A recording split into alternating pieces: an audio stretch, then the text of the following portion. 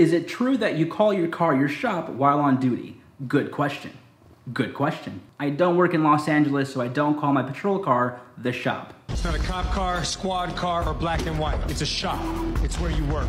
I literally say patrol car, vehicle, or car.